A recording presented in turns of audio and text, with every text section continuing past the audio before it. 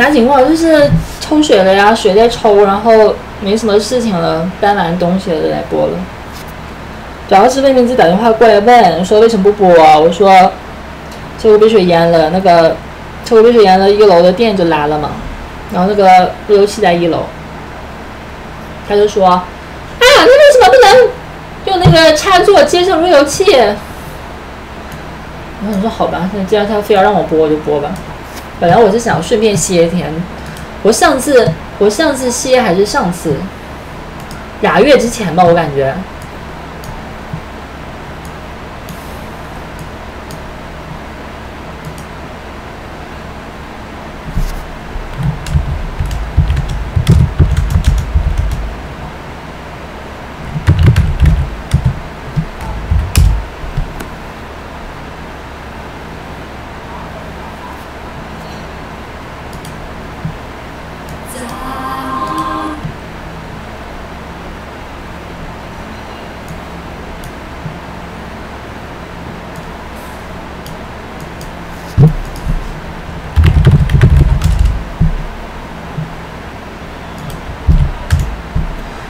五大学毕业找不到工作怎么办？我跟你很熟吗？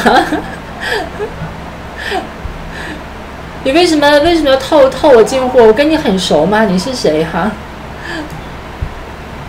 找个工作去吃屎啊，吃大便去啊！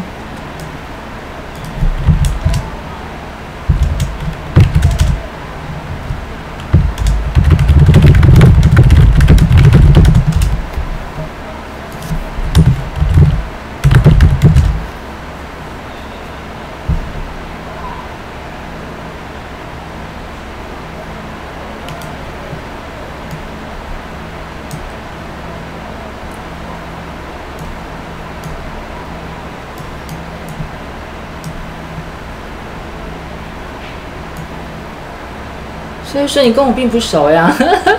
你但凡看过五分钟直播，你也知道这就是我的回答呀。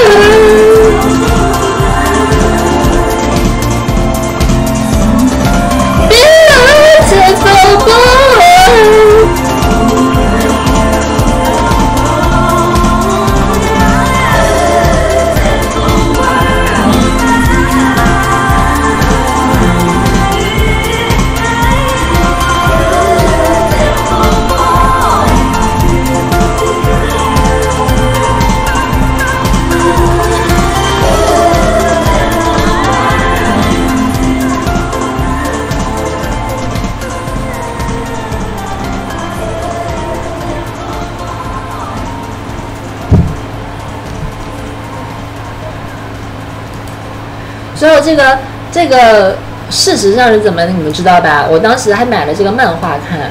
然后漫画的剧情是这样子的：他要去要救他，把他救出来。然后他说：“抱歉，斯密马森。”这个时候我不知道该用什么表情。然后辛吉坤就说：“我想只要微笑就好了。”然后漫画里面他并没有笑，他说：“抱歉，我也不知道该怎么微笑。”哈哈哈，这漫画里还是非常创的，不像这个动画还发发糖什么的。你们知道这个事情吧？还是你们头一次听说？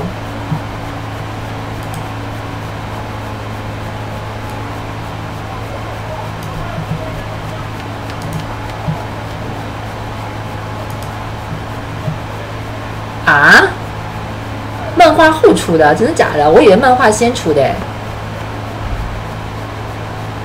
啊！有人跟我说漫画后出的，我以为漫画先出的。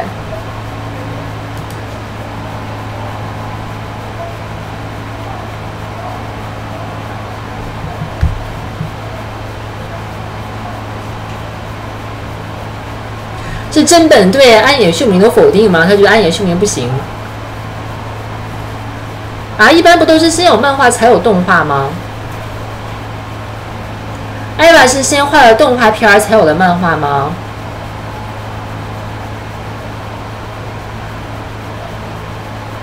啊？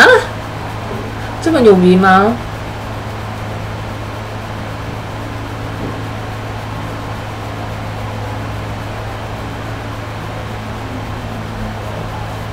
好吧，这我头次听说。我我按照我的那个，就是说。叫什么定式思维理解？我以为还是先有漫画才有动画的。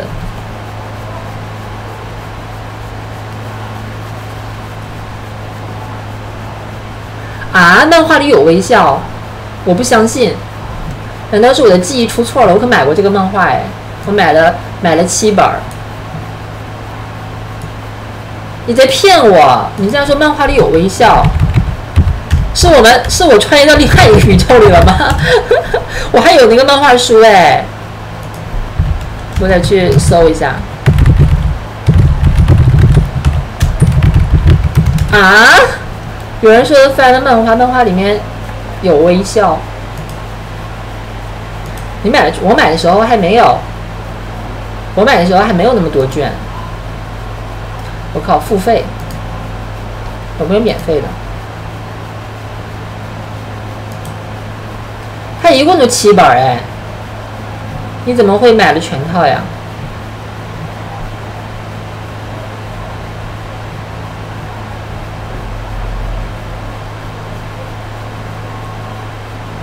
我买的也是，就实物呀。漫画也重置过，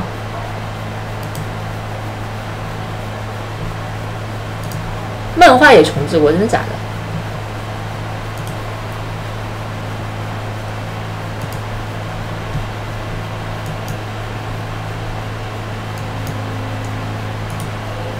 哎，我刚刚看不了，收钱，他妈的！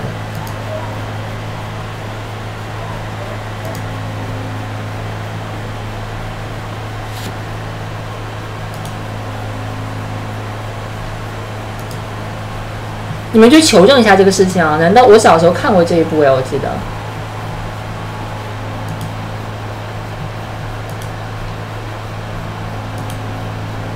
哎，我搜到了，等会儿我搜到了。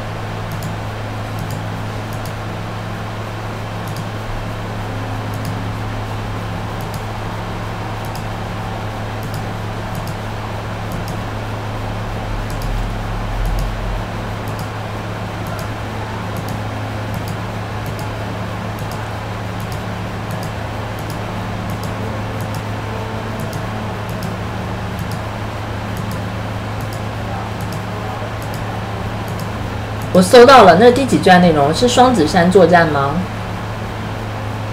那就不是第七卷。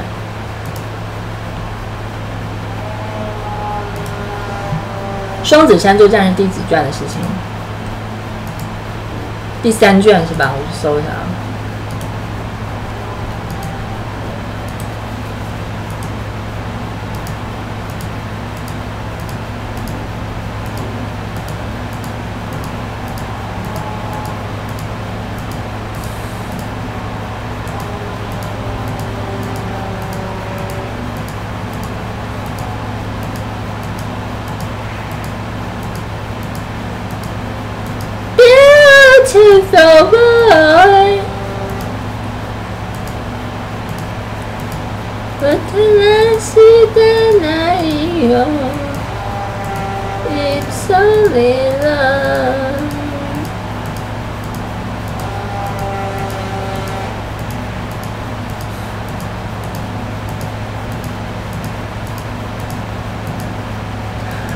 有笑是我自己幻想出来的吗？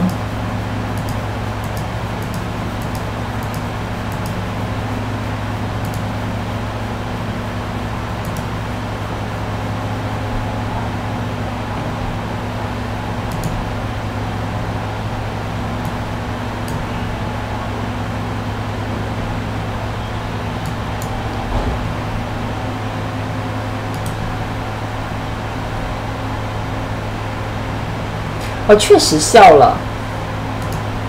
啊？难道我是幻想出来的吗？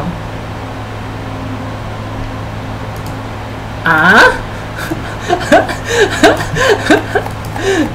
还是说我穿越到另外一个平行宇宙了？我记得特别清楚是没笑。我就想说啊，这个漫画这么创的吗？然后，而且主要是那个这个漫画我什么时候看的？也初中时候看的。妈的！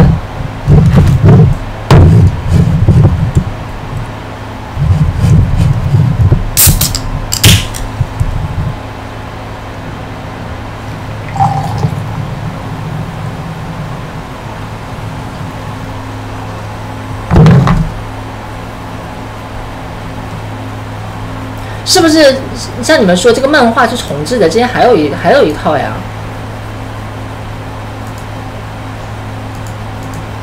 我记得很清楚的没笑，说抱歉，我我连笑也不知道该怎么笑。我去搜一下，《仙剑飞剑》是漫画重置过。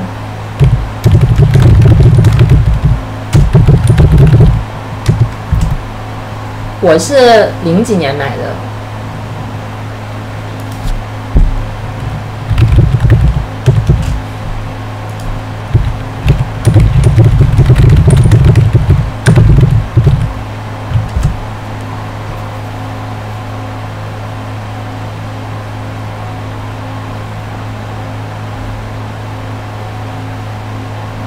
我买丢在在老家呀，然后呢被我妈卖废纸了吧？你们谁去帮我查一下这个事情啊？就是漫画到底是不是画重置过，还是就一套？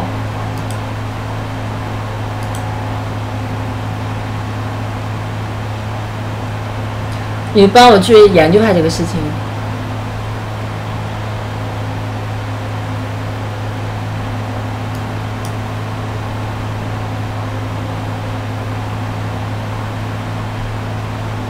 哲学学不会，这点事儿总能研究明白吧？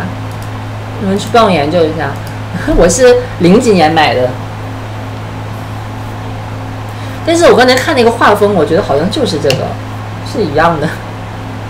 并没有很陌生，就是这个，就是这个画面。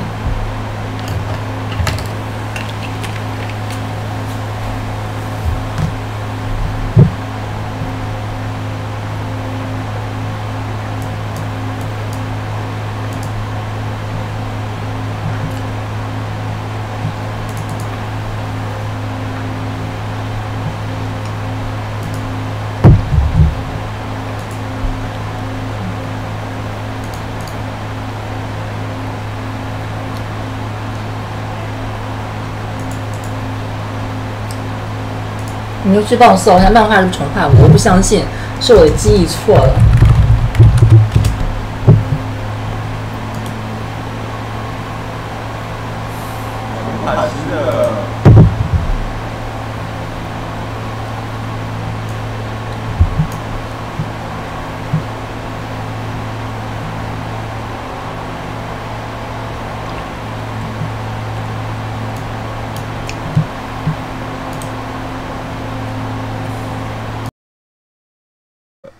来讲辩证法历险啊。卢卡奇的努力恰恰就是去证明啊，去表明，呃，经验世界当中，也就是现实的无产阶级啊，经验世界 the the empirical 啊啊，就是说这个历史现实中的无产阶级啊，它 surpassed by 它被一种历史的丰富性啊所所超越啊，这种历史的丰富性。他并不能够把自己啊呈现给自己。啊，既不能把他所示的这种历史的丰富性所示，不对，这里的 it 指的是这个呃无产阶级啊，就是说无产阶级没有办法把这种历史的丰富性啊呈现给自己，太丰富了，他把握不就水太深，把握不到啊，简单这么讲。呃，他被这种历史的丰富性所淹没啊，可以说，现实的无产阶级，他被历史的丰富性所淹没，他没有办法给自己啊呈现啊这样一种他曾经是怎样的啊，这个无产阶级曾是怎样，自己所过去体验到的那些东西呈现不了，或者他将要怎样，将要成为一个什么轰轰烈烈的解放全人类的那么一个阶级，他也呈现不了这种历史的丰富性，但是呢。依然保持着啊一个一个隐秘的总体性啊，卢卡奇就是表明这个历史现实中的无产阶级，虽然他没办法直接说把握他自己的过去的历史和他未来即将发生的那些可能的那些重大历史使命，他没法没法没法把握啊，但是他还是能够啊维持着一种隐秘的总体性。这个隐秘总体就是它还能作为一个总的一个普遍的阶级要造反了，啊，要去颠覆资本主义了，并且 is in itself the universal subject，并且呢，它是在其自身当中呢，它始终保持着它是一个普遍的主体，啊，由于它自是自我批判的，并且是阳气的自身，所以它能够成为啊自为的一种自卫啊，为他自己啊，它不仅仅说它它是。啊，朦朦胧胧的，在在他自己当中，他是个普遍的主体，并且他还意识到，他要为自己要去成为一种，为了我自己，我要去成为一种普遍的主体，我要去发扬，我要去，我要去实现我的，我这个这种普遍性啊，就他他是自我批判，因为他逼到绝境了啊。无产阶级就是说被现现代资本主义在传统马克思或者至少在卢卡奇那个时代，无产阶级就是被资本主义总体化的运动逼到绝境了，逼出来的。逼出来的否定性啊，所以他逼出来的要绝对的扬弃他自身，整个的要和资本主义生活生产方式做告别啊，所以他一定会能够成长成他是自己清楚的意识到自己要成为一个普遍的啊一个主体历史主体，但是这种普遍历史主体呢，只有他要成为一个真正的普遍历史主体，只有通过什么？只有通过一个呃。无阶级社会的一个不停不停的 indefinite 就是没有终局的不停的无限期的一个发展，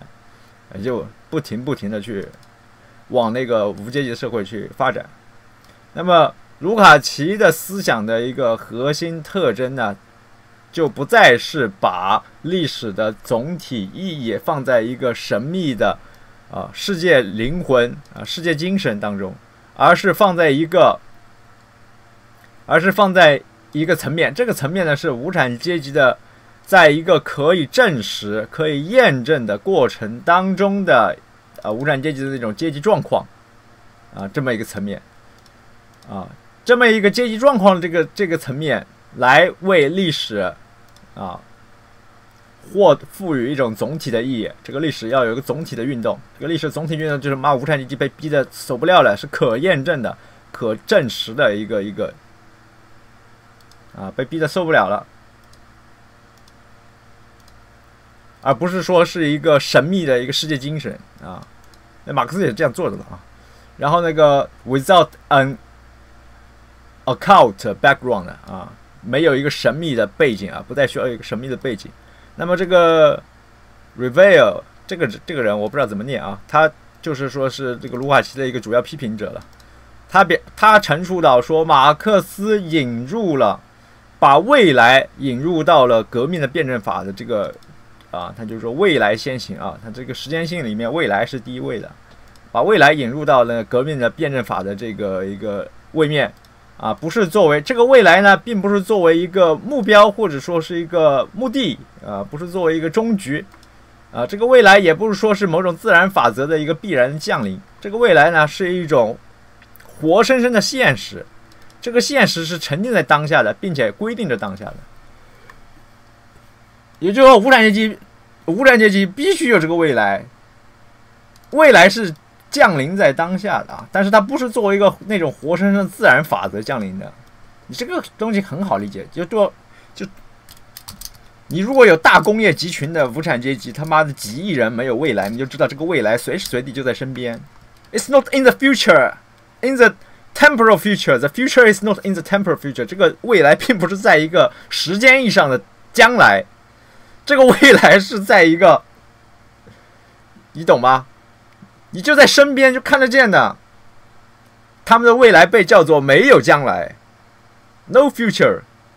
Their future is called no future. They got no future. This is the the future that is。那么这个东西，这个未来就已经在当下了，已经沉浸在当下了，是一个活活动性的现实性。那么多几亿无产阶级在大工业集群当中。他没有未来，这就已经是未来了。他活生生的就在你的身边。他以一种否定性的方式，明白吗？那马克思就看到了，在历史的辩证法当中，就是这样一个提前沉浸在、降临在当下的一个一个否定性的未来。你不能搞得几亿人没有未来，要命的。所以这种未来才叫做历史的大趋势。而不是那个，就是未来的未，不是那个将来的未来。劳动者的未来，对，劳动就在就在你旁边，旁边那个老哥，他就就够赚的钱就够喝个酒，然后闷头就睡，这个就已经是个未来降在降临在这里了。我希望你们能明白，你们能想清楚。那边那个老姐，她只能就是说，他自己自己只能弄点小手艺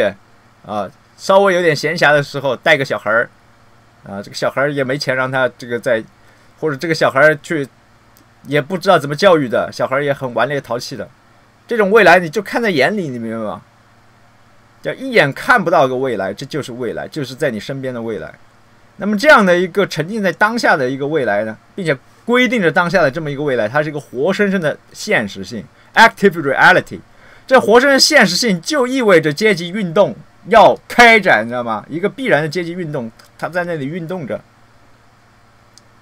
这这不是现状，这种东西不能叫做现状，这种东西要称之为 future。啊，它是对于现状的一个一个被压抑着的、被压抑着的，但是必然要觉醒、要爆发的一个力量。啊，就这个王梦圆。还在那边说什么中国的年轻人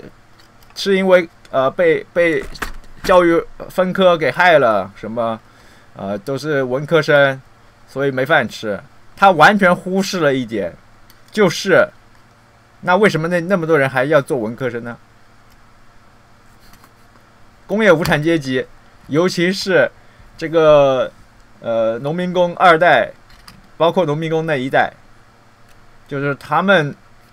啊，就王梦圆完全就是说“何不食肉糜”那种感觉。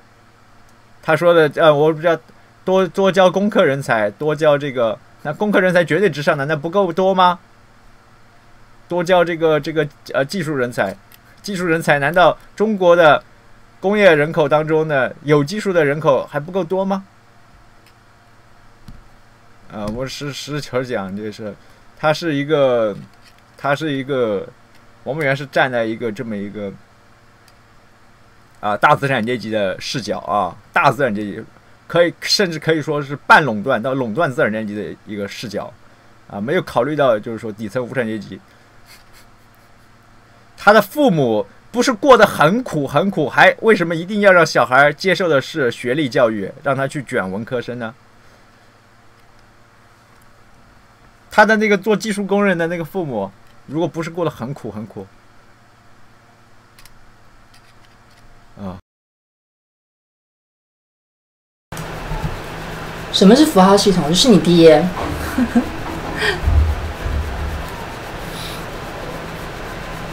我这里补充一下，这里啊，这里名字讲的不是那么好。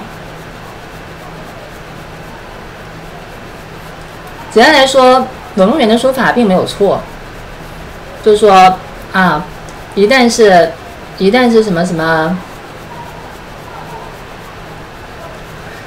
一旦是什么那个，你多培养什么技术人才、工科人才，问题就能被解决。他说的是完全没有错的。那明子还在想说，他说那个这个这个解决思路有问题，这个思路是没有问题的，你一定是能解决的。你多培养技术人才，多培养工科人才，然后你就是加大科研投入，然后那个国力再继续再进一步上升，对，然后最终那个打败美国，成为真的成为新的那个世界真正的话事人，是确实能解决现在的这个失业的问题，嗯，但是问题是等到那一天时候，又会有别的问题出现了。未来当然可以解决现在的问题啊，但是未来不能解决未来的问题啊。简单来说，就是你永远是有问题的。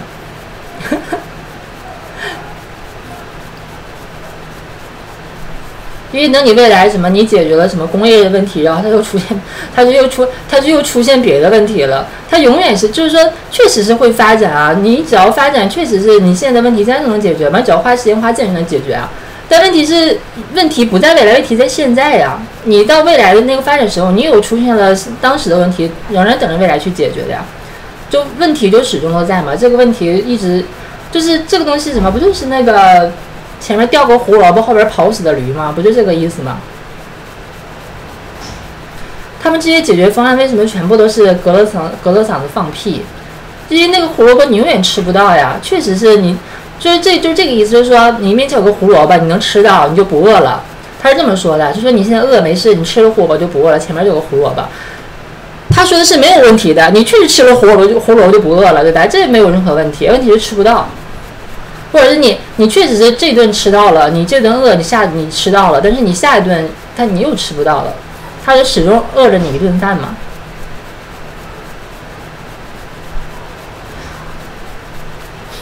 这个就是这一段文本的意思，马克思把未来引进到革命辩证法里，不是把它设定为一个目标或者是目的，或者是设定为自然权的一种责任，它不是用未来解决的问题，而是把这设定为处于现在被决定现在的起作用的实在，重点是现在，现在问题我就要现在解决，你不要跟我说未来能解决，你未来是能解决这个问题，那你未来的问题什么时候解决呢？你未来是解决现在就业问题了，但是人不只是要工作对吧？你生育问题怎么解决？劳动保护的问题怎么解决？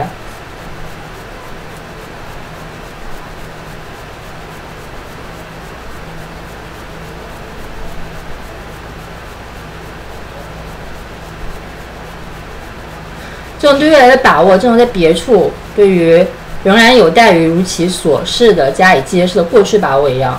在卢卡奇看来，就是对无产阶级的保证。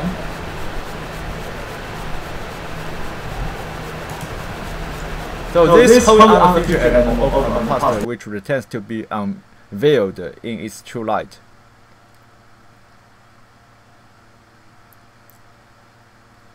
Uh, was, uh, for this hold on the future, 就 hold on the future was for Lucas guaranteed to the proletariat. 他这个时候，这个 hold on the future 这样一种对未来的把握，this hold on the future 这样一种对未来的把握啊，对于卢卡奇而言呢，他是啊，他是被这个无产阶级所保保证的，因为这个无产阶级啊，就是否定性的劳作啊，is the work of negativity，否定性的产物，或者说就是否定性的产物。那个就是我刚刚讲的那个，你现实当中去看一看你就知道了。这个说在十九世纪、二十世纪的欧洲很明显，这个在二十一世纪的哪里也挺明显的。And moreover, on the past, which retains to be unveiled in the in its true true light 啊，就是说这个对于未来的把握，并且进一步呢，对于过去的把握，他啊，他在他的自己的他他在他的真正的那个。那个理解之下被揭揭露了啊，在他的真正的 light 就是光啊，光去把照亮，在他真正理解之下被把握。啊，the returns to be 要要在他真正的那个降临或者光亮之下啊，要在他真正才才能够被把握。说 returns 就一直还没有还没有被被被被照亮啊，还没有被揭露面纱，呃，很快就会。那么，如果这个无产阶级什么都不是，而只是一个呃神话的一个一个载体，那么整个的这个革命事业的这个意义啊，就是啊，就是在危机当中了。所以这个东西呢，就是把否定性的载体啊，并不是放到一个历史计划当中去，而是否定性本身是有无产阶级，无产阶级它的未来以及它每个无产阶级对于自己过。过目前这个生活不能过这样的生活，我得有一个活法，我得有一个未来的这种否定性，成为历史的载体，而不是，而不是无产阶级不再是一个神话的载体，它不是某种知识分子头脑当中所设想的某种神话，啊，某种宏大叙事，啊，或者说这种就是这种宏大叙事之所以起效，不是因为它是知识分子头脑里面悬想，啊，而是是，就是无产阶级现实的它的。现实的否定性的，啊，一个一个呈现，这个现实的否定性是一种不被实现的现实，是一个被辜负了的过去，你明白吗？所谓的未来就是被辜负了的过去，the past betrayed，被背叛的过去，无产阶级的每一个劳作劳劳动的一个瞬间，都是一个被背叛的一个过去，因为他这个劳动最后在这个资本主义。规则下分配财富的时候，他被剥削了，呃，因为这个劳动，他最后在这个资本主义异化统治的当中呢，这个劳动最后反过来统治了他这个劳动者，异化了他这个劳动者，所以他每一瞬间的劳动都是一个被背叛的过去。那么这么一个被背叛的过去，它就是个未来，是一个一直欠着债的，你知道吗？欠着历史的一个不说血债啊，至少它是一个是一个历史的一个旧账，一直在，而且它一直是个新账。啊，他是个一直被背叛的一个一个过去。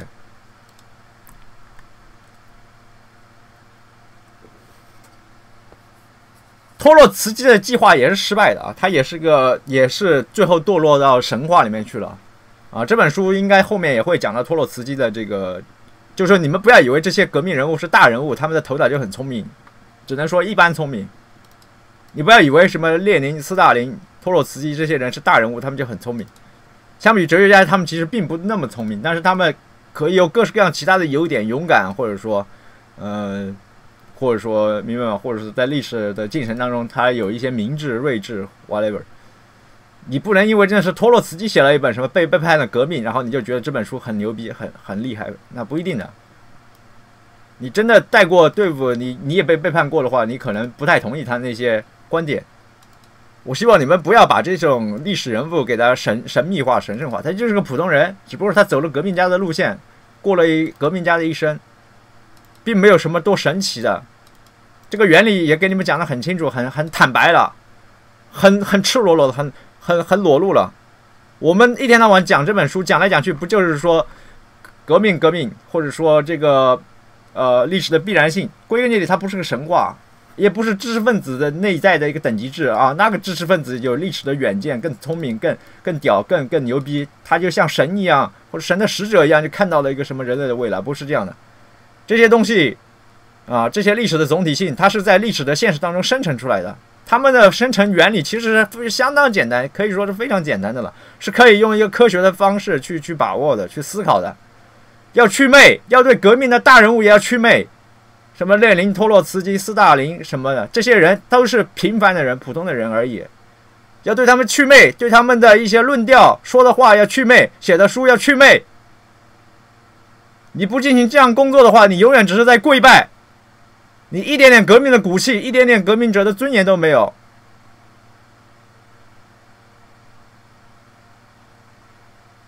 你只是在跪拜，你是在崇拜，你根本和他们的生存方式是一点关系都没有的。你和根本和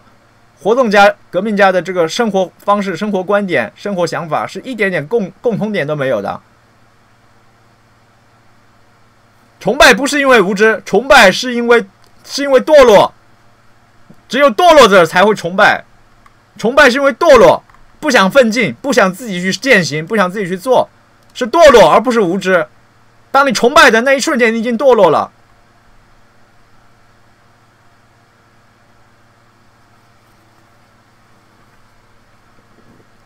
拿一一两本书书名是吧？就扯来扯去，扯来扯去，你纯粹只是堕落而已。那么这就意味着啊，根据卢卡奇啊，this meaning 或者这种意义啊。这种整个革命事业的这种整整体的意义，啊，它并不是完全的被任何特殊的目的所所所完全规定的，它不能被某种特殊的目的所完整的规定，甚至说，not even those which revolutionary politics proposes for itself day by day，甚至那些特殊的目的，它是呃革命的政治学为他自己啊日复一日或者一。一日又一日的，一天天的为自己提出来的一些特殊的目标，这个特殊的目标并不能够完整的去定义呃革命的总体性的意义，总体的意义。Not even by the ideology diffused by this politics，甚至是 diffuse 就是 diffusion 啊，那个我靠，弥散，就是那个 stable stable diffusion 就是稳固弥散。我不知道你们用没用过那个 AI 生成那个炼丹画画的那东西，Stable Diffusion，稳定的弥散，它就是一个卷积神经元一个模型啊，啊，就是它就是啊，就啊，它就是一层一层一层一层一层一层的那个啊，然后我这里不跟你们讲人工智能这个原理啊，人工智能原理，然后然后最后再把它收，把那个人工智能再收敛的像一个像一幅图一样的。然后我们讲的就是说，even by the ideology diffused by this politics，即便是被这种革命的政治学所啊发散出来的一些意识形态，它也没有能够完整的去规定这个革命事业的总体意义啊。革命的总体意义呢，is to be revolution，本身就是要要成为革命，也就是说，要成为一个普遍的一个批评啊，普遍的一个。criticism 批判主义，and 并且呢，特殊特别的是对他自身的一个批判，啊，就是无产阶级要超超出，哎，或者说当一个当一个官僚官僚统治集群要反过来要控制这个无产阶级，要说你不要革命了，你要停止，这里有当然有托洛茨基的意味在里面，但是说，但是我要讲的就是说，托洛茨基路还是错的。这里讲的东西是按照原教旨马克思主义提出来的，无产阶级要实现其什么？实现其历史必然性，就是说我不能再这样过，我不能再这样过，我又不能再这样过，我不能再这样过，我还不能再这样过，除非我能够整个的去去否定啊，去这个扬弃资本主义的生产方式。所以说，这个革命的这个意义，它是。is to be revolution 啊，它就是要成为新的革命啊，成为革命，也就是说，它是要成为一个普普遍的一种批判主义啊。然后说特殊的，它是要成为对于它自身的一个批判。所以，对于自身的一个批判，革命对于其自身的一个批判，这里和托洛茨基的差别就在于，革命对于其自身的批判，只是它普遍的批判主义的一个环节一部分，不能以开以偏概全。没有人想和你对话，你不是公益团队。哎，我就问，好了，你要说话，你是哪个公益小组的？你代表你们那个组的成员在说话吗？这个叫马克奇唱铃音，什么 CP 二还是 OP 二？你是哪个公益小组的？你代表你们组的成员说话吗？你们组决议了让你代表他们组来说话吗？你不是的话，你就不要说话。你有个大胆的想法，那和实践没有任何关系，和我所倡导的实践没有任何关系。那请你不要说话。我现在就问你这个几个问题：你是哪个公益小组的成员？你有没有获得授权？你可以代表那个组说话。你说的那个话对于现实的这个团体的我们整个公益团队的这个事业有没有什么启发性的意义、倡导性的意义？没有的话，就请你不要说话。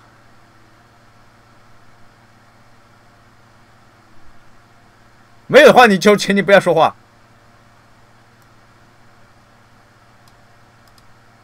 我给你时间了，五、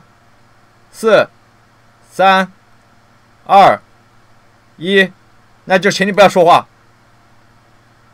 你说的东西没有历史的分量了，我跟你说什么说？就是说，托洛茨基的错误就在于把革命对于革命自身的批判当于当成他的最本质的，或者说他唯一的一个批判，并且成为他的军事、政治、经济活动的主导。那他就是在党争中失败而已。托洛茨基，他自己，他自己如果派系斗争胜利了，他会搞他妈真的搞无限革命？不会吧？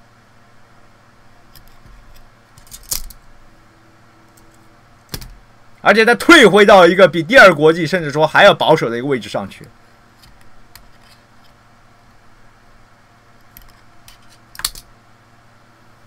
如果革命仅仅只是不停的说要批判他自身、批判他自身、批判他自身，那革命也不可能在现实铺设。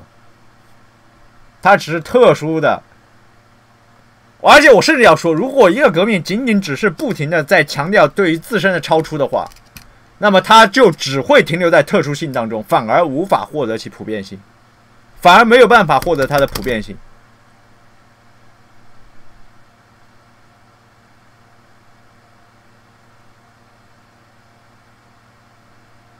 明白吗？如果他永远是停留在我这革命就是干嘛，就是不停的对革命本身加加以批判，那枪口一直对内的，天天往自己脸上打拳头，那你只能停留在特殊性当中啊！你这个普遍性是一个普遍的普遍性，只是普遍抽象的普遍性啊，那就是一种特殊性，就是一种封禁禁锢在自己小圈子或者自己一个人灵魂内部的。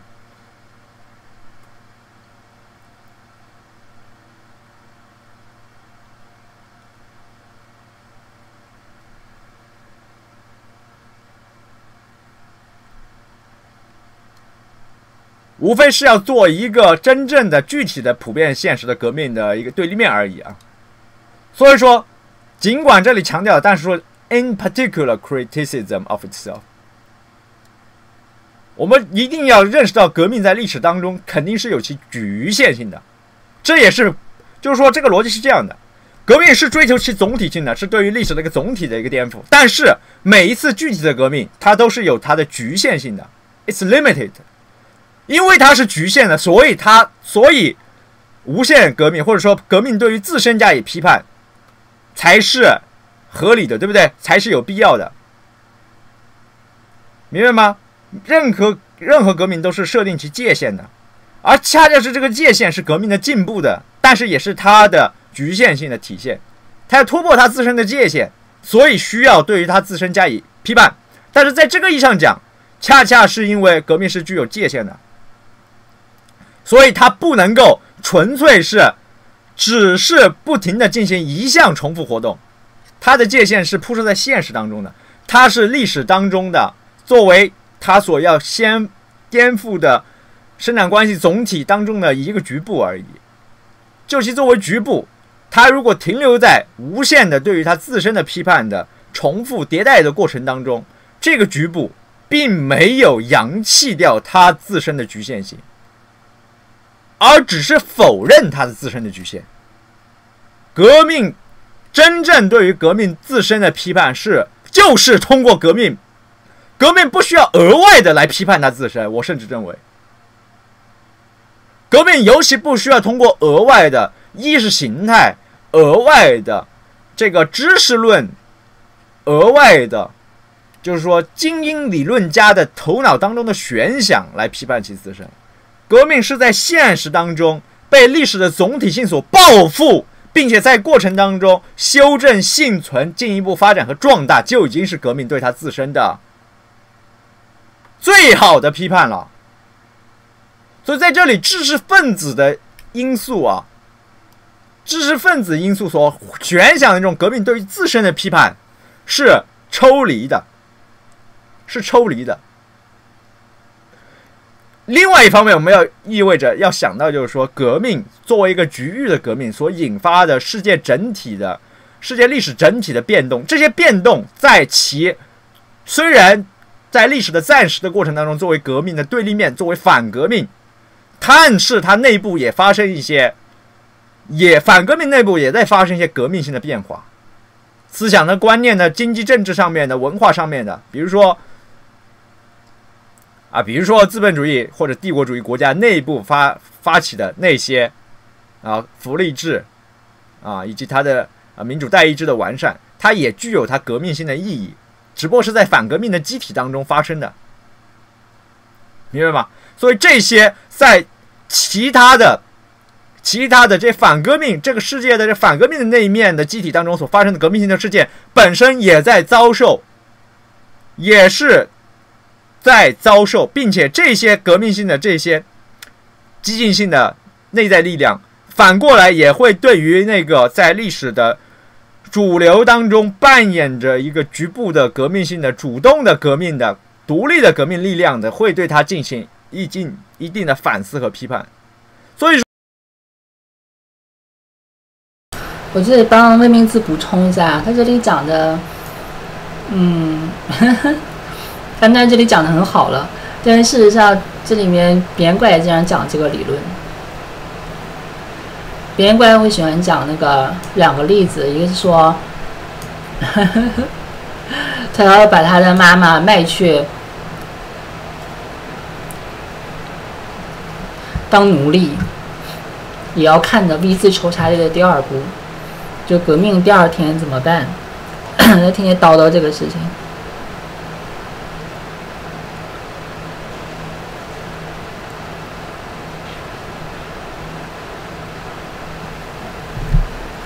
还有一个是他不停的天天举那个黑格尔书里面的一个例子，精神的无声编织。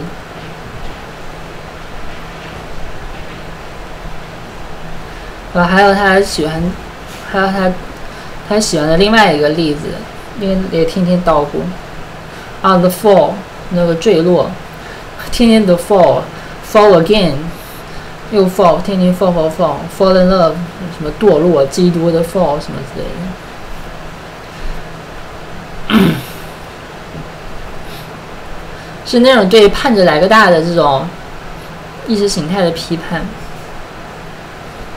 原因在那个他们那个政治环境里面，不天天就来个大的嘛，今儿又散步了，明儿又散步了什么的。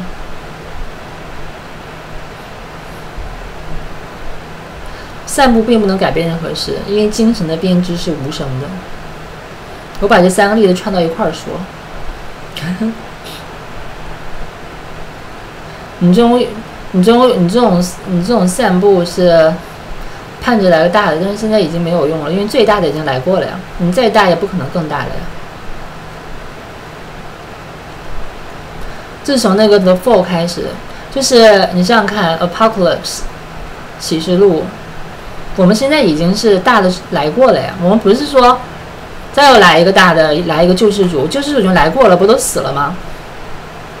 我们现在已经是在等着这个，我们现在已经是 apocalypse 了，已经是启示录的状态了，就是现在每一天都已经是干饭之后的一天了。你在盼着干饭没有任何意义，因为你再出现事件都只能是伪事件了。所以你要做的是完成精神的无声的编织，就你可以为干饭做准备，但是你的准备就是无声的编织。简单来说就是，就是这个大的这个事情，当它出现的时候，就是说明它已经完成了，那只是一个形式。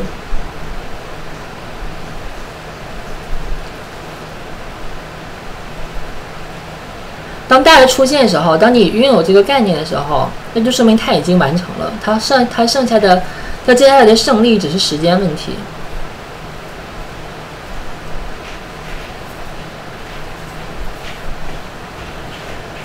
这个是一些齐泽克他比较喜欢念的一些关于这个干饭的理论，基本上也是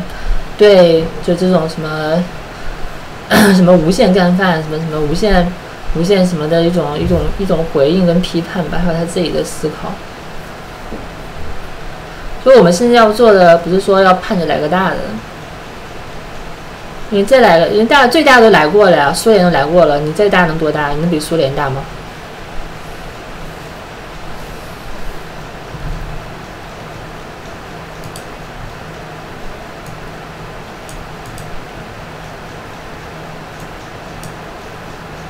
说去设想革命团体内部理论家自我批判，这其实是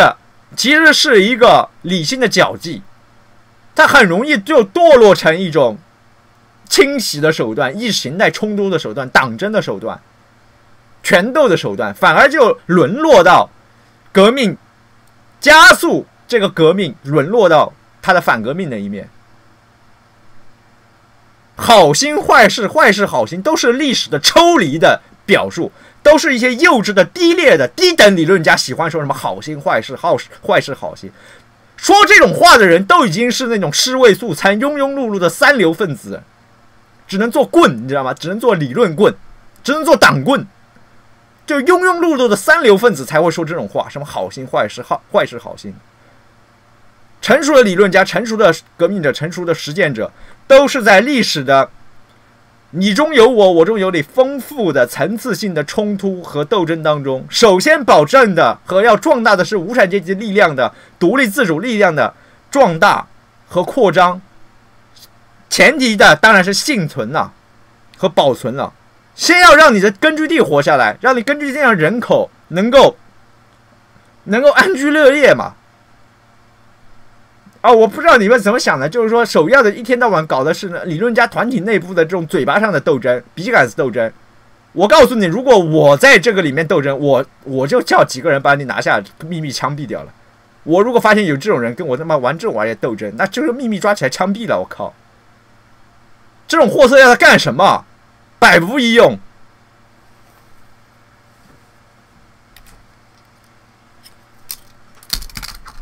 就书生之见，你知道吗？书生之见，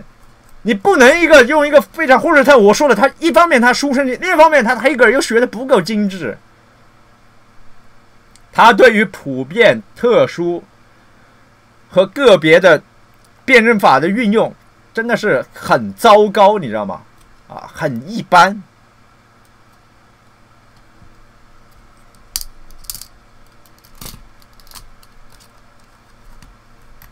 首要把握的是，首要把握的是敌我关系，首要把握的是敌我关系。托洛茨基这种货色，我是萨林，我就不会用冰镐戳他头了，我直接抓起来枪毙，你知道吗？我还流放他。首要把握的是敌我矛盾。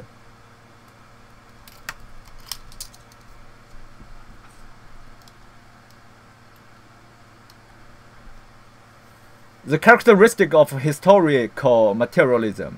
呃，历史唯物主义的它的特征啊，呃，如卢卡奇所说，就是要把它自身运用在自身。也就是说呢，你关键是如果你这个自身是比较弱小的，你不能这样搞。如果你这样比较弱小的，你不能这样去把自身运用到自身。也就是说，to hold each of its formulations as provisional and related。To a phase of development, and by constantly refining itself to proceed toward a truth which is always to come。这里都是书生之见哦，我告诉你，这里就是书生之见，这里都是书生之见啊，要应用到自身，就是说，要把每一个辩证唯物主义的它的表表达形式都看成是临时的，并且是相对于一个发展阶段的啊。对，嘴巴上当然可以这样说了。然后呢，要不停的要改进他自身，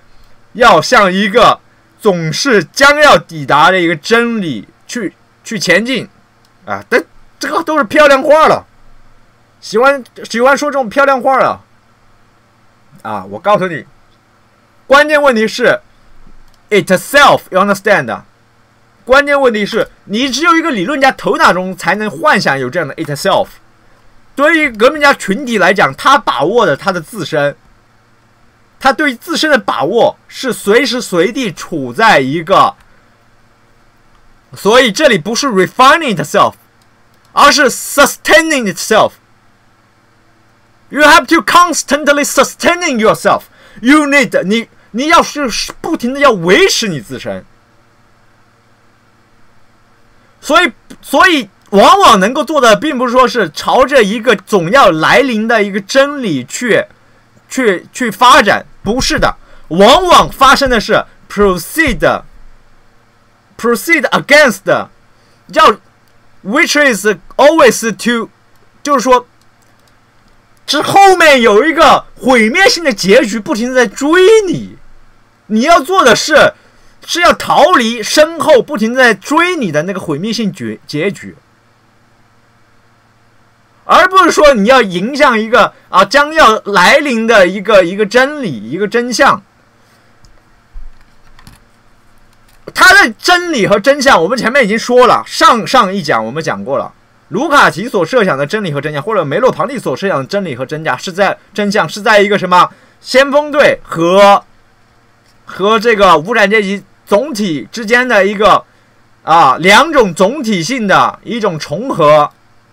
两种总体性的重合啊，革命革命知识分子和这个呃具有现实的这个否定性的一个一个有革命意向。啊，不能说有革命意志和意识，有革命意向的无产阶级总体，两者的总体性的一个重合。那这这种有没某种民主咨询制了，whatever 了。那么好了，你要搞那个那个真理，你搞那个真理要命的，你知道吗？你说要在不停的要去是需要通过这样的机制，但是说这个机制的发生不能是以肯定性的方式发生的，他不能够说说刻意的去像列宁。中了弹，那个时候你就弥留了，头脑不清楚，说要选几几几十几几十个工人委员进中央委员会的，知识分子的代议制机制和无产阶级的他们的这种是天然的不相适应的，前委里面是不能有几个士兵的，前委里面是不能有太多太多那个一线士兵或者一线这个。这个这个什么铁矿工人的，你知道吗？他我说的这种真理生产机制，在知识分子，在这些 cosplayer 梅洛庞蒂啊，甚至说是，甚至说卢卡奇这种 cosplayer 人，土壤里面更像，更有有点像是一种设定性的真理生产模式，但是实质上，在紧急状况之下，在真正的历史的过程当中，这是否定性的在在运行的。这个真理生产机制这是否定性的在运行的，是要逃避一个毁灭性的死亡。啊，它是要逃避毁灭这个这个绝对的一个悲剧，还是要 constantly sustaining itself，或者说 constantly，我们甚至可以用这个词，就是说 saving itself，或者说。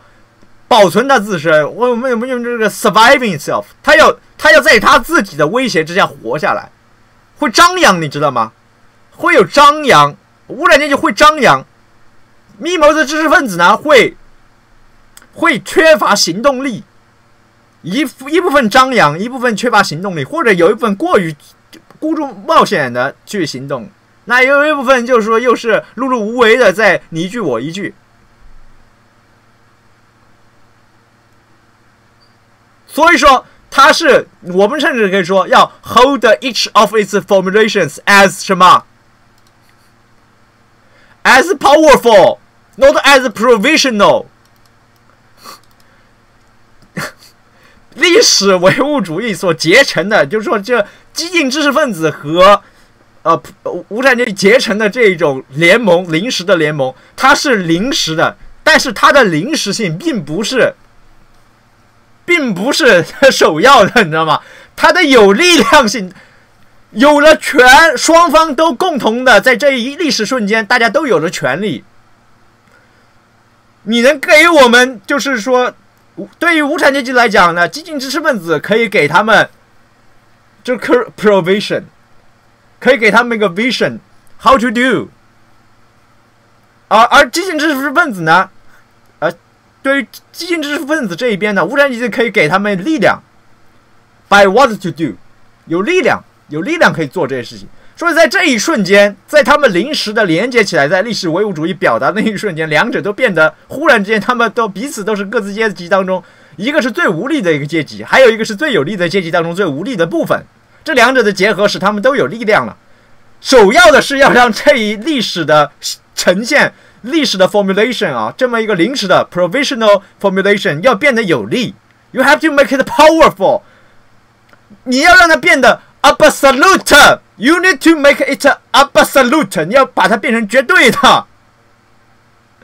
要在每一个执行环节、每一个作战环节、每一个决策的部署环节、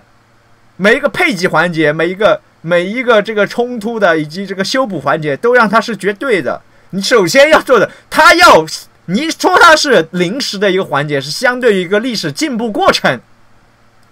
首先，重要的并不是它的相对性，而是它是要相对于一个历史进步，是它的进步性是重要的，是它能够占据一个历史阶段是重要的，是它能够占据一个历史阶段的历史舞台当中的一个有生力量的这么一个历史地位是重要的，而不是说它的相对性是重要的。说它是临时的，不是说它临时要被超越是重要的，而是说它能够临时的在历史当中占据一段历史的空窗期，这是重要的。也就是说，它在这个历史的空窗期当中，它是绝对的，它是重要的，它是有力量的，它是重要的。你们能明白吗？所以这句话是书生之见。他妈的，在这何不食肉糜？我操！能够这样好整以暇的、有备无患的去去享受这个过程的，只有是资产阶级自助的法共。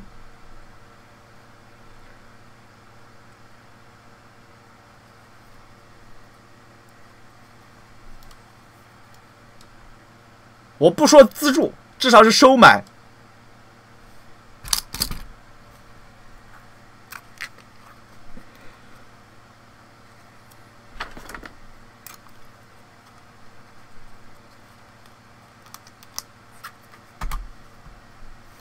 啊，他后面也辩护了，说啊，举个例子来讲，啊，历史唯物主义的意识形态啊，拿这个意识形态举个例子，当资本主义社会的基础。被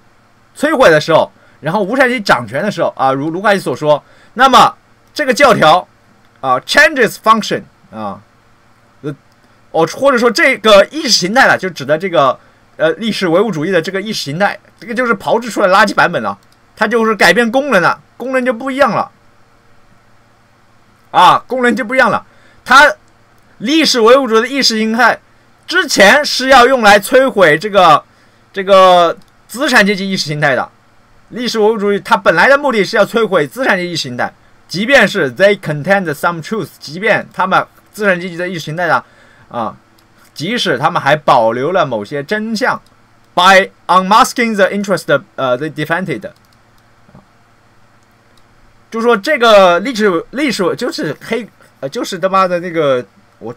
就是斯大林版教科书了，那么垃圾玩意了。这个这个东西，在卢卡奇看来呢，他本来在之前，在革命胜利之前，啊，他的任务，啊，他确实是在革命胜利前后改变了功能。之前的功能是摧毁资产阶级意识形态的，啊啊，即便资资产意识形态还有某些真相啊，他就是说，通过揭露资资产阶级的意识形态啊，他。呃，隐藏了、掩盖了某些利益啊。然后呢，it was then one of the weapons of the weapons of the proletarian struggle。所以那个时候呢，它是无产阶级斗争的一个武器啊。当这个无产阶级呢，from above directs its struggle from above，当这个无产阶级是从上面来引导他的斗争的时候，当这个对于这个经济的。这个管理开始去遵循他的需求，然后去遵循人类的一些普遍啊规则的时候，这个人类的一些我操伦理或者范规范啊标准的时候，普遍规则的时候 norms 啊，true knowledge and a regression of ideologies, including those used at first by the proletariat，在那个时候呢，就是当无人机自上而下的去。就是已经掌权了嘛，然后自上而下去指导经济的时候，抓经济工作的时候，抓斗争工作的时候呢，啊，他就开始遵循他的需求，遵循这个人类的一些规则。那么，真正的知识和呃意识形态的退回包括那些之前使用过的意识形态，啊，就是那个时候就不能再讲意识形态了啊，regression of ideology，就是要从意识形态那里回归，不能不能再搞那种意识形态统治了。这里就是卢卡基，妈的，八字给两边不是人，你妈的，先夸斯大林，然后又在又要在匈牙利党内要继续要胡吃海喝，这个逼他就来这一招，我靠，要。你主要敌人还没干掉呢啊！实事求是讲，而且说说难听点，身边皆是敌人啊！啊，就是说这个东西，他把它想的太好了。就是在这里，卢卡奇又美化什么 is demand follow human norms 这些屌东西都他妈的会剁继续，就是说你对外战斗状态结束了，但是你的对内战斗状态并没结束。斯大林一死还没死呢，都哇中风了，他妈的躺在地上已经没人管他了，我靠！接班人二号马仔什么三号马仔都他妈眼睁睁看着他死呢，你以为？你们需要明白一点啊！干这个活干这个事儿，就是说你就说呃把纳粹干掉了，那你你这个周围的那些，就是说哪怕你自己。你的家人，你身边的人，他们都有向小资产阶级、资产阶级的生活方式堕落的可能性，甚至说是必然性。他这里都说的太好听了，说从他啊，从他的上层啊出发来指导斗争啊，来去什么，要去啊管理经济是要从从这个这个无产阶级自己的需求和遵循。讲人类的这种规范太早了，言之过早了。然后你就说要有真正的知识，然后要要要要要要撤回意识形态，不要搞意识形态了。斯大林说：“我他妈也想这样呀！我一撤，我明天人就没了。我操！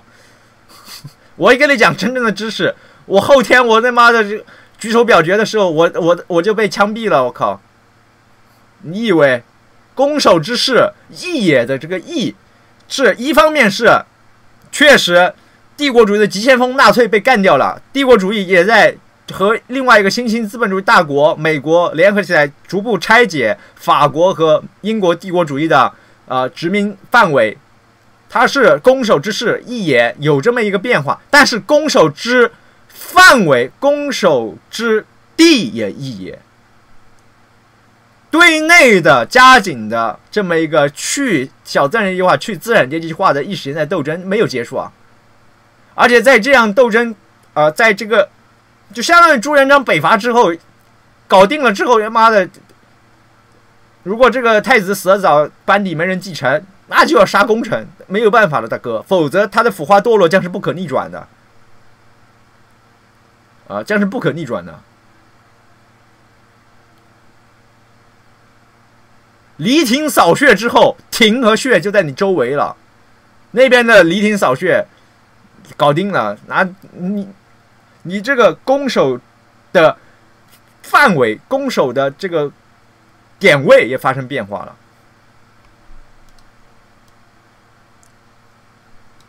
所以这里，然后说，呃，说这个要要退回，要要。，a，regression of ideologies 要从意识形态退回，然后要有真正的知识，是他说是不可避免的，随着这个生产的发展是不可避免的，确实没错。但是说这种随着生产的发展的不可避免，我认为只能够，就是说这是个比例问题。革命发展到这个进度，啊，境外的敌对力量尖锐的战争威胁冲突已经不那么明显了。内部呢？内部的意识形态斗争，内部的，但是这里为我们提出了一个一个界限，就是说，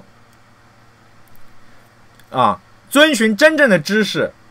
或者说遵循知识当中具有革命性的知识，比如说相对论、量子力学，对于牛顿经典体系就具有其革命性，对不对？比如说。我就说李森科那种屌东西了吧，好吧？比如说他李森科，当然他讲的那些东西也没有是什么啊，后来人还有假假的给他辩护了，其实那个辩护也没有什么什么意义了。要让说我们要继续保留意识形态的冲突，呃，要继续保留甚至说对于知识威权、知识资产阶级化、知识资产阶级化群体的发生学的一个啊一个机制上的一个防御，这个是不能松的。但是另外一方面，对于知识领域本身具有革命性的，对于生产领域本身具有革命性的创举，它是要进一步的去推广、去发展的，啊，就是不能因噎废食。当然说，但这里重要的是把握它的尺度，啊，重要是把握这个尺度，而不是说一厢情愿的。这个话呢，作为一个匈牙利党内的一个一个一个代表文艺界或者 whatever 代表一个这个文教方面的一个知识分子的一个委员呢，他说这样的话是情有可原的，是具有代表性的。但是啊，对于头头一把手这样的话呢，又太过于天真。随着这个生产力的发展，那你这个生产力的发展，一些简单重复的生产力的发展是不要这个东西的。你要考虑到是不同的生产力的发展，简单重复的，或者说这种生产力的发展，与其说是发展，不如说它是堕落回某一个呃顽固的、将死的阶级再生产方式、阶级矛盾、阶级社会或者社会的阶级性的再生产方式的那样的一个发展，就不能松掉它的，不能松掉它的意识形态的一个呃紧绷的那根弦。但是如果这样的发展是本身是对于人类的生产生活方式、对于社会组织形态具有一个呃决定性的发展性的一个突破的啊，这样一种产业革命啊，或者说是科技革命或者知识范式革命，那是不能过度的讲究啊意识形态的，并且在过程当中，我们要把那些先进的知识分子本身看成是知识无产阶级当中的先锋队，一般的教育、一般的科研人员、一般的啊经济。组织管理人员只是知识无产阶级啊，而当在这些人员当中，并不能够是官僚，而是能够去掌握和把握其中具有革命性的知识结构、革命性的生产管理方式、革命性的啊物质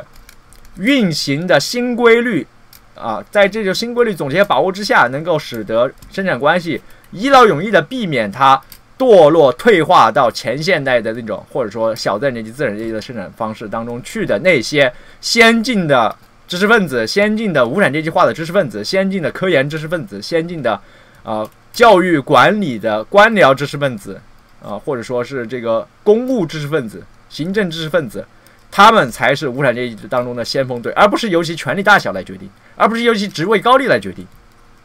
那么这个就需要领领导人物具对具有。非常强大的，或者说至少在中央委员会层面有非常强大的高级知识分子，并且是忠贞的无产阶级化的高级知识分子，来保证这个机制能够这样运行。就是在无产阶级化的知识分子，或者说知识有知识的，或者是在生产生活管理、科研、教育活动当中，其实他进行的是无产阶级化的劳作的知识分子团队当中，能够产生其对应的先锋队成员，这是非常。非常考考究，非常非常取决于这个中央委员会它的的人员构成比例的。实事求是讲，他妈的，我说到最后就是中央委员会人员构成比例所决定的，没有办法了。所以在这个意义上讲，啊，与其说是列宁所设想的要把几十个工人选到中央委员会里面去，我觉得应当是把几十个技术能手或者几十个这个能够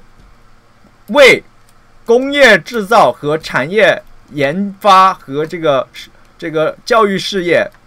具有广泛代表性的、具有这个先进的理论和实践革命性突出贡献的一些成员选入中央委员会，才能对我们说难听点，成为党棍的那些官僚集团进行一个重要的监督，进行一个具有代表性又具有革命性的监督，才能避免李森科这种货色混在里面。明白了吧？啊，所以说在这里我们看到的这个是个非常粗糙的模型，是一个书生之见，是当然也是这种话呢，也也是说它是个片面的东西，但是它恰恰是由卢卡奇这种人，就是文教层面的，由这个文化层面的一个一个一个先锋队成员来说出来的，他当然可以说这样的话，但但他具有一个狭隘性，他没有看到全局，他没有看到这里面的深刻的一个机制。知识分子的关系，知识分子和先先锋队的关系，啊，这个范畴是更更更复杂的，更需要去有绞尽脑汁去思考。你 光思考没有用，就是现实的去斗的，不好意思啊。那么，物质和和这个物质的坚，物质和这个精神的这种 solidarity 啊，它的这种坚实性、团结，或者说这种团结，which in the capitalist face of history meant the decadence of knowledge which no longer expressed the social totality and served only to mask it。这种团结呢，就是说，就是说，这个就是说，在刚才也讲了这个外面这个嘚嘚嘚，歌就是抽水机的声音，因为刚才那个消防车来在外面抽那个积水，就跟那个高压水枪差不多的原理，就一根管子是抽的，然后另外一根管子往出喷，它应该是一边在抽一边在喷，这个应该是抽血机的声音。我去楼下看一眼啊。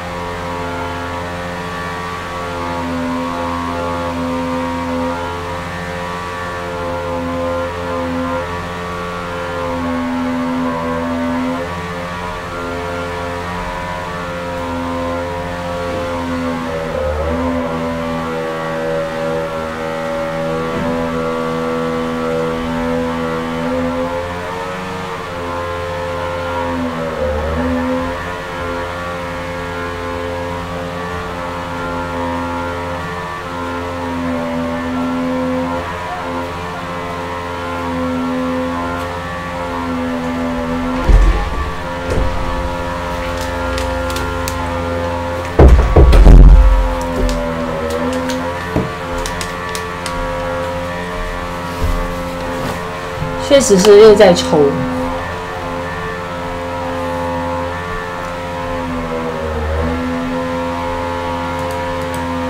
刚才明哲讲了这一半天，听没听得懂他在讲什么？刚才这十分钟在喷这个卢卡奇跟梅洛庞蒂是在说什么？但是这里面还多到梅洛庞蒂，因为这个是梅洛庞蒂在总结卢卡奇的意思，梅洛庞蒂还没说话，还没说话呢，所以我也不知道梅洛庞蒂什么意思。梅洛庞蒂还没有开始评论，他只是现在在总结。你们知道不知道这个名字在讲什么？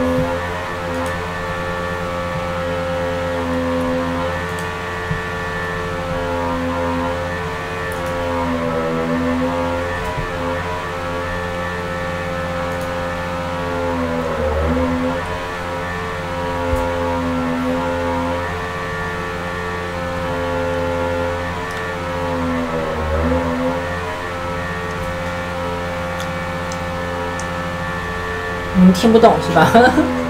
沉默，听不懂也很正常。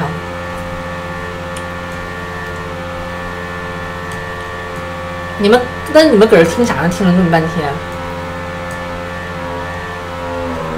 那你们搁这听啥呢？直播间六百号人没有听得懂的吗？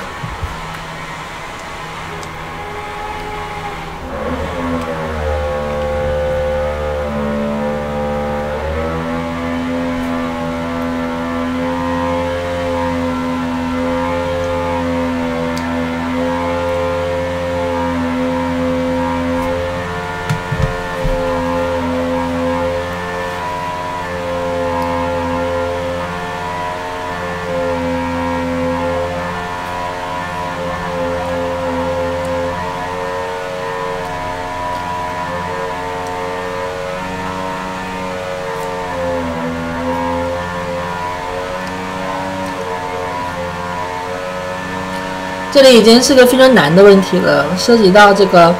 就除了斯大林这条路跟这个跟这个托洛茨基这条路，然后他还指出第三条路。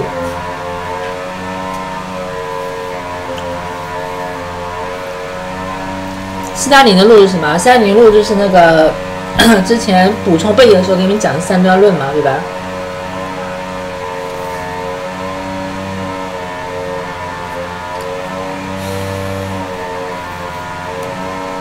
斯大林的路就是什么？就是说，嗯，历史必然性做保证，无产阶级不想干饭，但是你也得干饭，因为历史必然性。所以先锋队来来引导你们，来领导你们，但是，一旦这个干饭完成了，一旦干饭完成了，为什么还需要先锋队呢？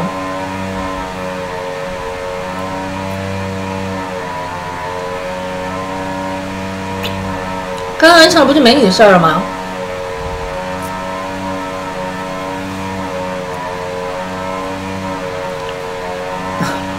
如果刚完成了，你为什么那不就变成统治了吗？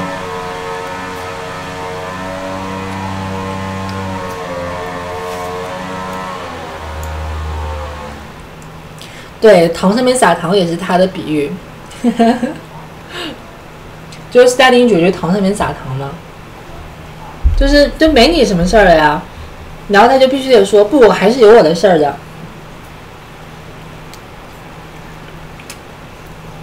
我代表历史必然性客观规律，他必须走向这一边嘛。然后卢卡奇在这里的说法，魏明子觉得有点托洛茨基主义嘛，就说要不停的无限干饭嘛，我要再取消自身，然后我要再搞世界干饭，再来解决这个先锋队的问题。那因为你确实想想看，如果你不是无限干饭，先锋队有什么正当性吗？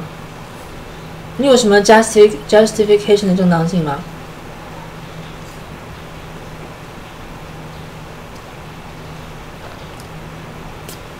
那如果不是无限的，凭什么要你啊？你干嘛干嘛？你历史使命完成了呀？你在接下来你不也是统治吗？那跟之前统治又有什么区别呢？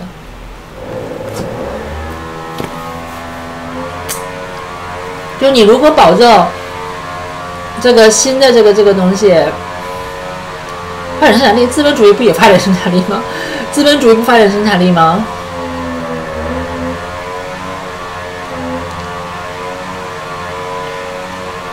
资本主义不更发展生产力吗？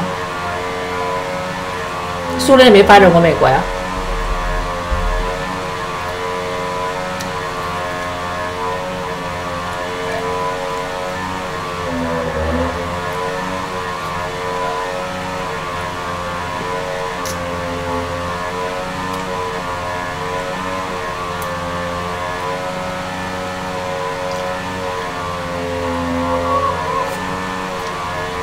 刚才讲的就是第三条路，就是一种非斯大林主义，但是非托洛茨基的一种方法。他刚才主要是在批判托洛茨基了。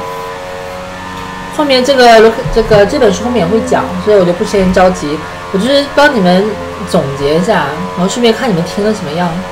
果然不懂呢，很正常。啊，资本主义历史时期，物质和精神的团结意味着知识的堕落。就这个知识堕落为只去啊，不再代表社会总体，而仅仅是掩藏它、掩盖它，只用于去掩盖这个特殊的阶级利益啊。比如说，呃，资本主义的国民经济学啊啊，它这种知识是堕落的，因为它是用来以用来为资资产阶级的利润啊做辩护的，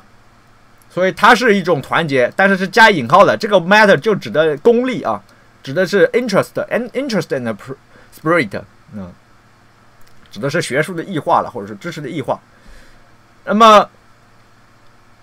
现在他的这个卢卡就说，现在啊，在我们已经赢了之后呢，它意味着说知识和生产过程的一个啊共同的一个解放啊，但是说不能，就是说他没忽视了一个权力的代表性的问题，要让解放了的知识同样具有啊权力的代表性。It is then the task of historical mis 啊，materialism to recognize，那么这恰恰就是历史唯物主义的一个任务，要去认识出啊，什么是纯粹的是这个 polemical 啊，两极对立的啊啊，是辩论的、好辩的，就是就是嘴嘴巴上，在这个对历史加以表表述的过程当中，纯在这个历史的表表现形式、历史的自我呈现的过程当中呢，什么只是这个嘴巴上对立的，只是争吵的啊，with which it had satisfied itself 啊，用这么一种口头上的争吵就满足了自己啊，我们需要。历史唯物主义有能力去辨识出什么只是知识分子在权斗了，说的难听点吧，举个举个例子，比如说什么吴晗和谁怎么吵架什么的，你就看这个，就你要看清楚什么仅仅只是知识分子的权斗啊，要能够辨识出来，要避免那些东西把你卷到坑里面去，and to develop into true knowledge as society develops，呃，it into classless 啊，so society，然后要去发展到真正的知识啊。这呃，当这个，并且要去，呃，当这个社会逐步发展到一个无阶级社会的时候，要去发展真正的知识啊，要去发展到一个真正的知识。当然，我们也讲了，这样样一个真正的知识，一定要同样的要在知识界，要在知识分子群体当中，啊，要在无产知识分子无产阶级和知识分子先锋队当中，要嵌入一个历史辩证法的结构。这个我们要说的啊，这个就是我们要，但是并不纯粹只是一个代表性的一个结构，而是要。要坚持的是一种平等关系，所以恰恰要这里恰恰要要要要坚持的是，要让知识分子当中的知识管理人员、知识活动者、知识生产者，以及以依赖于知识的这个管理教育，就是基层公务人员和教师、医疗什么这些东西和他们的相互之间的先锋队的关系，不是纯粹的一个。官僚代表性的一个关系哦，这这群被选的，他们就是官僚，或者他们就是什么的，而是一个，就是说要避免这种关系的形成。那你就是说，无产阶级和他自身的自身的先锋队之间的关系，也不能是个官僚异化的一个关系，官僚主义异化的一个关系。你如果说只抓只抓一个局部，说知识分子和他产生出的知识分子代表这段关系不能是一个官僚异化的关系，但是就放任无产阶级和他产生出先锋队的关系变成这种官僚主义异化，那你就是说舍本逐末了。如果我们在大面上能够确保无产阶级的无产阶级的先锋队和无产阶级整体的关系不是一种官僚主义异化的关系的话，那我们就更能够在知识分子啊知识。无产阶级和知识先锋队之间的关系能够维持一个平等的、民主的、真正具有解放性啊、真正具有进步性的一个关系，并且这两组关系是相互制约的。由于由于一种逆向的反动的阶级再生产过程是不停的要去死灰复燃的，并且我说的再难听一点，为了维持知识优势。知识优势本身会成为一种小资产阶级萌生、资产阶级重新、重新就是说逆转路他自己的一种手段。所以，对于一个啊，我们说革命已经胜利的现实的社会主义社会当中，往往最初容易死灰复燃的，最容易重新开始出现，哪怕你在经济上、在行政关系上，啊，在这个。总体的权力结构上，杜绝了阶级整体的再生产。那么在这一方面，我们说这个这个苏联并没有给我们。苏联是什么？苏联是你妈先是它的核心的官僚集团先你妈腐化了。苏联反而给我们是一个反面教训。他不，他比知识分子堕落的还快。我靠！啊，明白吗？但是在我们这里看的是文科知识分子可能先先会延续着一种封建世袭学阀关系，他的阶级构成阶级关系并没有被彻底的被扫除。他不仅仅说我们不仅说说要提防他的死灰复燃，我们甚至说他妈的他还想要去，他还一直保留着那种阶级关系，并且想要去在其他的社会机体上去复制啊。如果说这种前前。前社会主义的这种就小资产阶级、资产阶级的这种关系，是它有一个逆转路的一个来源的话，那它的不，那它的 mRNA，对不对？它的 mRNA。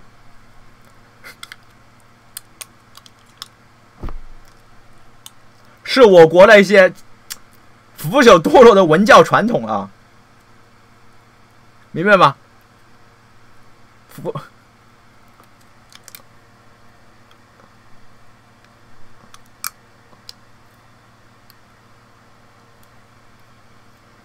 所以我们首先要提防的就是说，把知识资本化、知识异化所导致的这个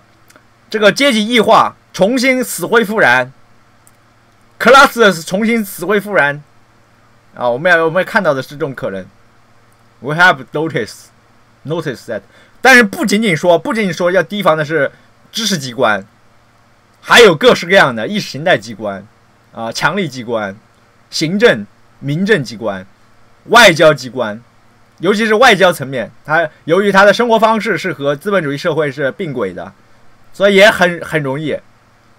啊。所以就甚至说，我们在这在我就不能讲了。你看这双重的，对不对？外交它和它学术双重的，但是说这种双重性是不是处在一个严密的意识形态监管之下呢？我不确定啊，我并没有说这样的诠释可以对此加以评论啊。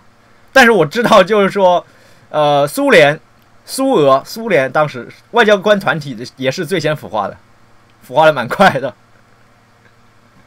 明白吧？啊，腐化的很快。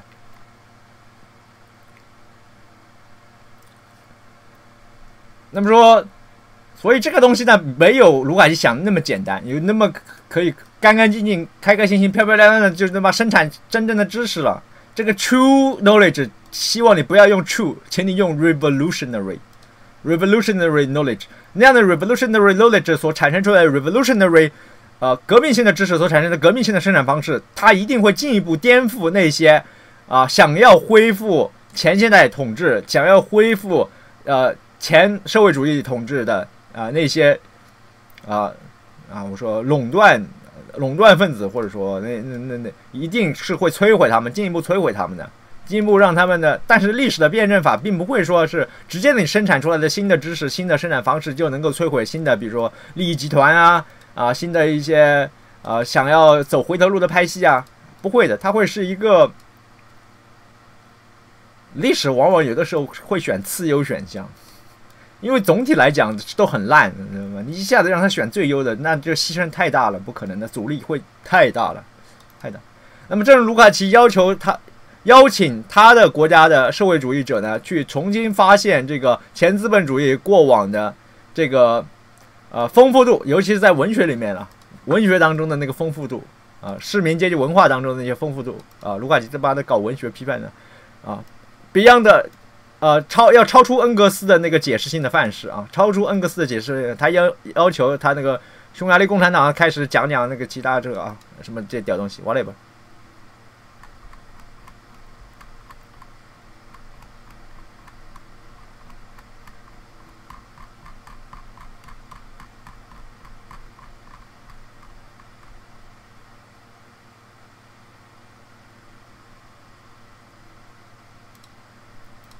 已经讲了一个小时了。那么，the coming to be of truth，那么这个这种真理的这种 coming to be 啊，呃，这种生成过程啊，生成，嗯，这就翻译成生成嘛，就是来成为啊，来成为真理的这种将将要成为 the core of history 是历史的一个内核啊，使得马克思主义呢具有一个严格的哲学的一个有效性。啊，它确实在这个意义上讲，它是个严格的、具有哲学上的有效性的，可以承认的，啊。And distinguish it from any kind of 啊 psycho 呃 logism 和任何心理主义啊，以及这个历史主义都不都不一样了啊。它的知识，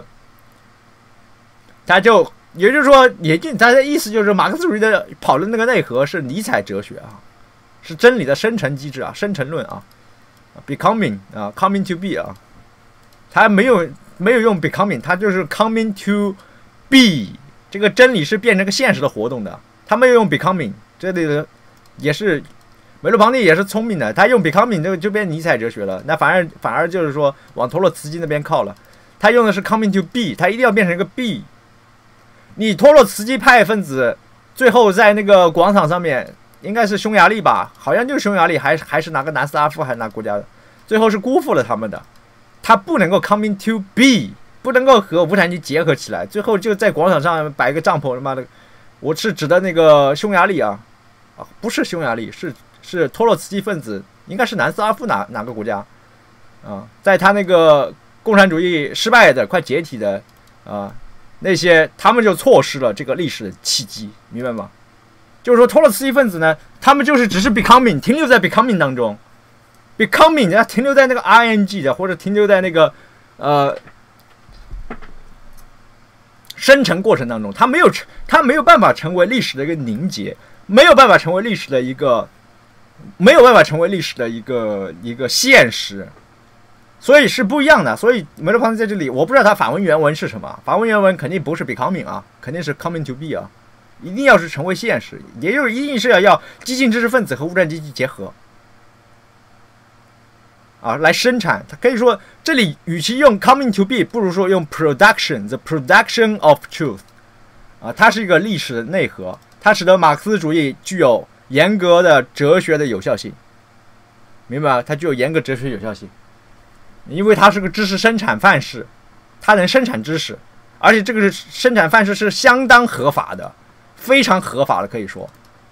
啊，相当合法。你妈的，那么几？那么多人被逼死了，你说不合法？你神经病！我靠，他是自我辩护的，啊。然后，那么精英知识分子会背叛他的这个这个最最强力的这个这个统治阶级集集群的，你说不合法？他都背叛了，我就管你，懂吗？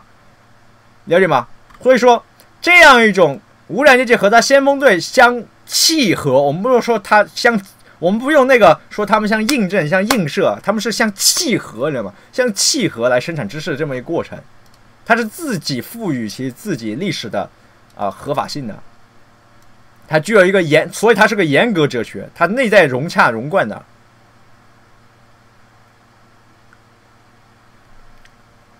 就它和任何的心理主义或者说历史主义，就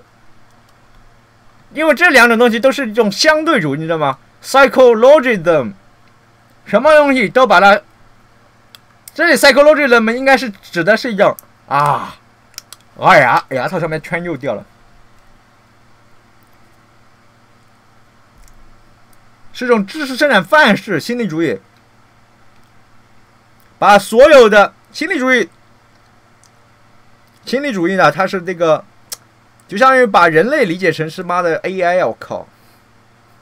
哎。心理主义当然有好多种了，泛泛而谈呢。最后我们讲的这个心理主义，一般都是指的说把逻辑演算过程、逻辑判断什么都，都描述成是一种心理心理运动机制啊，心理动力学、心理静力学机制啊啊，就是知识的生产归根结底是个心理活动过程。然后历史主义呢，他说知识生产是某种历史主义。可以说是具有某种相对主义、相对主义的知识的生产，它是一个，啊，因为把所有的知识都把握成是一个在特定历史时期之下有某些历史机制所啊生成出来的，但是说这个知识的这个合法性、正当性呢，只在这个特定的历史状况之下才具有啊。这两种呢，都是可以都演化成某种相对主义，明白吗？它或都都可以演化成某种相对主义啊。然后 any kind of，所以它有很多种。我就是不评述了，它有好多好多种。你你是你你想去了解的话，你去那个主义主义里面去了解。In this regard，在这种考虑当中，卢卡奇认为呢，就是说人道主义的这么一个庸俗的口号应当被重新考虑。所以卢卡奇就提出了一种人道主义的人类主义的马克思主义。他他的这个人道主义的人类主义，他就是在认识论上认为马克思主义是一种什么？知识生产机制啊，明白吗？这是一种知识生产机制，在历史当中的有限性的条件之下生产出知识的一种模式，humanism。啊，就是说，你是我们甚至可以说这个，呃，无产阶级负责 human 啊，知识分子负责这个后面的 ism 啊，无产阶级负责 human 啊啊，在人道的濒临。绝境的啊，灭亡的那种极限状况之下，爆发出 human 的追求，而知识分子负责给它加上 ism，啊把它变成一种主义啊，所以他就就重新恢复了人道主义的这个口号。所以卢卡奇所设想的这个东西都是非常天真的。但是我要说的，马克思主义不是一种人道主义，尤其是一八四四那个时候是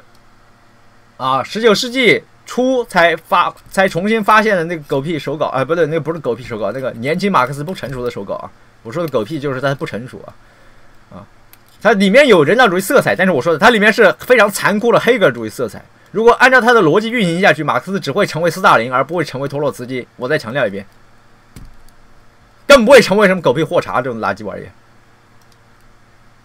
按照马克思青年马克思的逻辑，他他才会成为斯大林。它是黑格尔主义的逻辑，它不是不是停留在有限性当中的，不是停留在 humanism 的。所以两种总体性的这种交汇或者说契合，知识分子总体性和无产阶级总体性的交汇和契合，它产生出来的却是一种有限主义。humanism 是一种有限主义啊，human。我这个 human 人类，它指的就是相对于神、相对于上帝或者相对于 inhuman，不是人类的那些，不是非人啊，unhuman 或者外，它就相对于天使、魔鬼啊，什么圣灵，就是神虚头巴脑的，或者相对于宇宙、相对于时间、相对于无限的时间、永恒这屌东西，相对于神这些东西啊，相对于什么什么什么什么这些知识这这些东西，human 就是一个有限的，所以可以 humanism 就你你。简单要把它理解成是，它是个神学范畴，或者可以把它理解成是一种生存论范畴。你把它理解成有限主义，它的最内最核心的 humanism 是一种有限主义，有就是说把唯物主义理解成有限主义，也是因为物质一直是和这个是是被看成矬的东西嘛，是被支配的东西嘛，被精神所支配的东西，被圣灵所支配的东西嘛，matter 是有罪的东西嘛。所以他是一个堕落者，不是是一个被诋毁为堕落者的反抗，是一个被诋毁为沉沦者的，反正反而救赎的契机在这个沉沦者当中的。所以叫 humanism 或者说 materialism，在传统的这个呃宗教神学的语境之下，都代表一种有限者啊，或者说被压迫者，或者说弱势者的一个一个辩证法的一个逆转。反而我是拯救的，反而我是超越性的来源，反而我是这个圣真正的圣洁的。懂吧？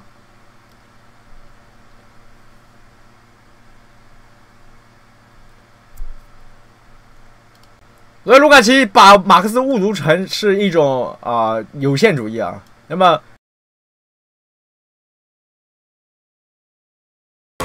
今天听到这里面吧，十一点了，明天继续听吧。主要今天我也讲不了，太吵了，